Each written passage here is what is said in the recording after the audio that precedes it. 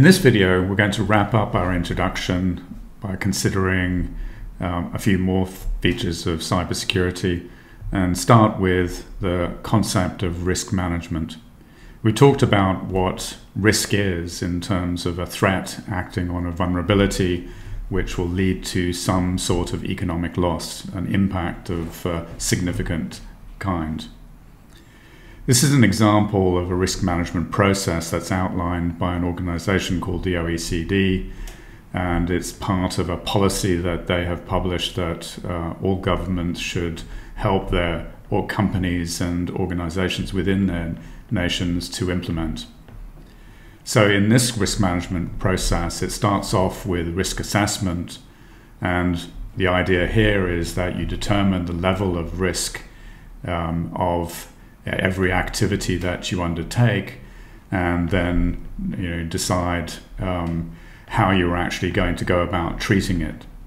The OECD simplifies risk treatments into four categories. So you can either take that risk and not do anything about it, you can reduce it, and we'll come back to how you reduce it in a second. You can transfer it to a third party, which we mentioned before, was either take out cyber insurance or use third parties to manage some infrastructure for you, or you can avoid it, you can end the activity. If you decide to reduce the risk, you can actually put in place security measures, that's controls, uh, to actually uh, then mitigate the risk or reduce it. And we covered that in a little bit of detail. Or you can actually innovate and adapt the activity uh, so that the risk is not present anymore. Uh, you could even change the activity uh, to do something else to avoid that risk. Uh, and then you could uh, you know, put in measures that uh, create preparedness, which will reduce the risk as well. So if you have measures, for example, to quickly act on any incident that happens, then the overall impact to the organization is going to be less.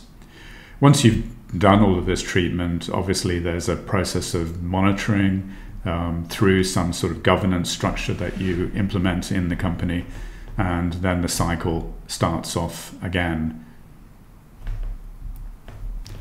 Risk analysis itself can be split into two different types qualitative and quantitative. Qualitative is where we're not going to try and calculate the absolute levels of risk. So, how much everything would cost if a particular threat acted on a specific vulnerability. But we're going to give it a priority, and in most cases that's high, medium, or low. The problem with that is that it's uh, you know, very easy to implement, but it doesn't actually give us an awful lot of information for example, what does that mean in terms of the overall cost? You know, how do you know how much money you want to spend to actually control that risk? Quantitative risk analysis, on the other hand, works out the numbers for frequency of risk events based on detailed understanding of your assets, the threats that are involved, and the vulnerabilities. So this actually needs a bit of maturity of an organization and obviously access to detailed organizational information you have to know what things the company does and what they do it with and who does it and what times. You have to understand the threat landscape. You have to understand vulnerabilities. Um, and that's all takes a level of organization that a lot of um, companies don't have, especially the small to medium sized enterprises. In a quantitative risk assessment, what we start with is evaluation of the asset. We have to know how much the asset costs. And then we work out that for every threat acting on a vulnerability, what was the percentage of that valuation would it impact? So that's our exposure factor. And from that, we can calculate that if a single loss happened, a threat acted on a vulnerability, um, what the ex loss expectancy would be. Then we work out how often it's going to happen, and that's we talk about an annualized rate of occurrence and from that we can work out an annualized loss expectancy.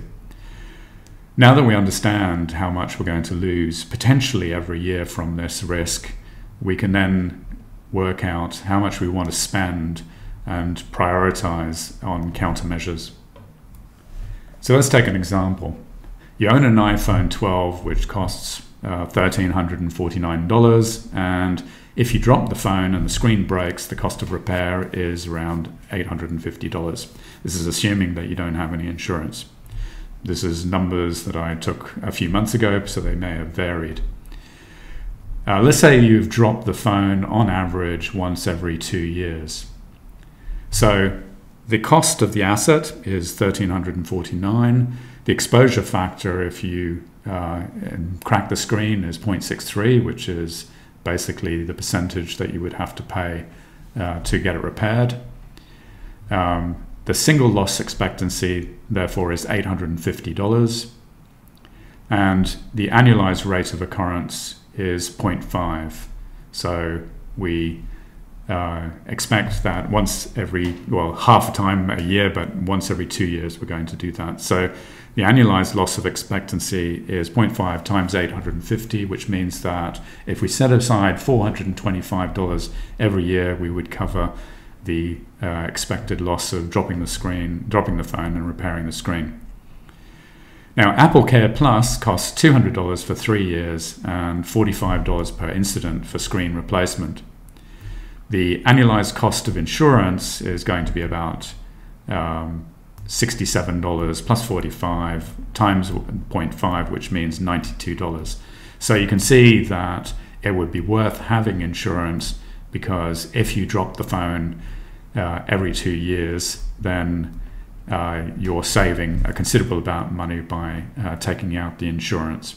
Now, of course, this isn't the only way that you can protect against this type of loss. You can buy a case significantly cheaper, and it may or may not um, avoid the actual uh, screen cracking. You can put screen protectors on, for example. So these decisions aren't necessarily always straightforward, but you have to start by knowing the actual numbers involved to be able to work out what you're going to do about a particular risk. We mentioned before that um, you would have to understand the threats that face you uh, when looking at risk management. And to do that, uh, organizations themselves, or they get a third party to do it, would undertake a threat analysis and undertake and use models to then work out what threats they may be facing. So, threat models ask the following basic questions with reference to a particular system, because all threats, uh, even though there may be hackers out there, they may be targeting particular industries and particular systems, for example. So, what we need to know is who the attackers are, why they're attacking, and how they're attacking. Ultimately, this allows for the calculation of risk, and for which there must be a vulnerability, a threat, and some impact, as we said before. So, threat models need to be applied to a system as a whole, not just to specific parts of a machine learning pipeline in isolation, for example. And they need to be based on realistic scenarios with credible threat actors and credible goals and motivations. So, it's actually quite a complicated process, and this is why uh, uh, most organizations would outsource this to a specialist cybersecurity firm to undertake the threat analysis and modeling and then provide that information to the company to act on. There are a variety of different threat models, and here are just a few with uh, intriguing names like PASTA, which is the process for attack simulation and threat analysis, Stride, which is Microsoft's, and that's re more related to threats to software and that stands, STRIDE stands for spoofing, tampering, repudiation, information disclosure, denial of service, elevation of privilege. Uh, we'll go into that in more detail. Another model is attack trees that describe the steps needed for a threat to be actioned, and it's uh, represented in a tree structure. Uh, so attacks don't happen singly and in isolation. You, there are various steps that are taken. And then there's the hybrid threat modeling model um, called by the SEI, um, which is called persona non grata. And again, this tries to build up a profile of the types of threat actors that you might be facing. Some of these threat models focused on different vulnerabilities in different assets and also on different types of threat actors. Vulnerability assessment is the other important aspect to undertake a risk management or risk assessment. And to work out the vulnerabilities, we need to determine the weaknesses in the organization's assets that, when exploited by a threat, will obviously lead to an economic loss.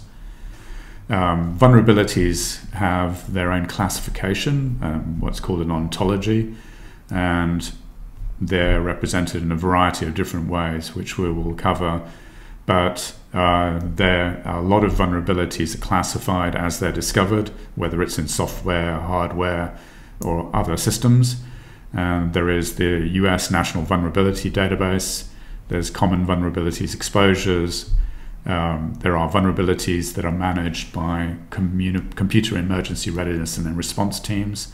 They are uh, on a national level, so uh, most uh, countries will have, if not all countries, will have a CERT, and they will catalog and uh, provide information on vulnerabilities. And then finally, there's another vulnerabilities database called VulDB. Although a vulnerability may be identified in software, um, whether it can be exploited or not depends on the system. So knowing vulnerabilities known alone is not always enough. We have to know that there is actually a threat actor that could exploit it. Um, this isn't always that easy. Uh, for example, you may think that a system that is not connected to the internet and what is known as an air-gapped system may not be vulnerable from threats from outside an organization. But of course, that's not true. And when we look at the case study of malware called Stuxnet, which was targeted at nuclear processing facilities, uh, there was a very good example of where the malware was uh, introduced into um, a engineer's laptop, who then took it into a system, uh, infected USBs by by way of infected USBs, and then infected the centrifuges within the processing plant. So uh, it's not obvious that vulnerabilities uh, that uh, you know potentially isolated aren't actually exploitable. So we cannot really always assume that. We identify the vulnerabilities, however, through asset management. Um, this allows us to understand what uh, assets we have, the hardware, software, specifically what versions and what updates have been applied. So we call those patches. Um, we can also assess vulnerabilities through vulnerability scans, and we'll do that in one of the labs. So you get an idea of what that's what is involved there, and employing third-party ethical hackers um, to actually try and break into a system and explore vulnerabilities through uh, penetration tests. This, once you've discovered the vulnerabilities, it enables you to prioritize um, these vulnerabilities through the process of risk assessment. And then, of course, we know what to do as a consequence of that. Once we've identified the risks um, through the threats and vulnerabilities, um, as we mentioned before, we can try and treat those risks and we can try and use controls. Uh, there is a focus of a large number of organizations, mainly through uh, IT led organizations, to skip an awful lot of cybersecurity risk analysis and just go to the controls. And there's nothing particularly wrong with that, except that we're doing blindly. We're sort of saying, I don't know what the risks are, let's just put in some protective measures and just hope for the best, which is better than nothing, absolutely, but it's not done on an informed basis. So controls can be of three types, physical, technical, and administrative.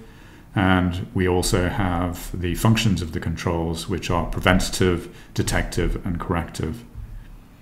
This gives you an example of what all of that means. So a physical control, um, which is preventative, can be something like a fence, a gate, a lock. Uh, if we have a machine room, for example, we would put locks on the door, and not allow unauthorized personnel into that. Uh, detective, um, physical control, maybe CCTV and surveillance camera logs. A corrective one is repairing the physical damage to a lock, for example, or reissuing access cards. Technical controls are the ones that we're more concerned with because they're the realm of cybersecurity. um, are things like firewalls, intrusion protection systems, multi factor authentication, um, antivirus software. Detective controls are intrusion detection systems, IDSs, and honeypots. Again, in one of the labs, we use a honeypot, and this is a system that you might put on your network that's designed to lure attackers and then essentially give them something to roam around and it's logging the um, access of that uh, information, that access, without actually risking any loss from the organization.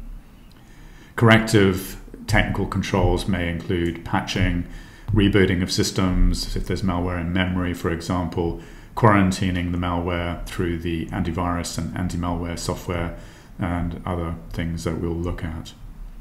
From an administrative perspective, there's uh, preventative controls around things like hiring and firing practices. So, during doing due, due diligence when you hire somebody, doing a police check, for example, um, organizing your uh, personnel through separation of duties. This means not having one single person doing too much that is critical to the organization. So, if they actually do something wrong, then they're not going to cause significant harm. Um, and also doing things like data classification. Detective administrative controls are things like access rights, audit logs, and reviewing unauthorized changes. And then from a corrective perspective, it's uh, having things like incident response plans and business continuity. Finally, with cybersecurity, there's a whole risk series of uh, standards, and some of which we'll go into in a little bit more detail. And uh, I just mention um, a few here. The principal one, which is an international standard, which is called the ISO 27K series of standards. Uh, there are a lot of parts to that standard and the they all relate to different aspects of the cybersecurity standard. So ISO 27001, for example, talks about um, the IT security techniques and requirements of information security management systems. Uh, 7005 relates to how you implement uh, information security risk management. And there are a whole range of those. And of course, any organization want to being, wanting to be uh, certified as being ISO 27000 um, compliant um, needs to go through a process and have an external party that comes in and basically uh, does the certification process. Another uh, standard which is popular is a US standard from NIST, and that's the SP 800 um, standards um, in particular here, this 53, which is related to security and privacy controls for information systems and organizations. So, as I mentioned before, um, if, if you can't manage to get uh, organizations to go through uh, what is deemed a sophisticated risk management process, then the next best thing is to get them to implement a certain set of controls. And Australia takes that one step further by advocating what they call the essential eight. So, eight different types of control that every organization should uh, implement. In fact, uh, legislation dictates that all government organizations now have to have implemented the essential eight, especially if they're um, deemed to be critical infrastructure.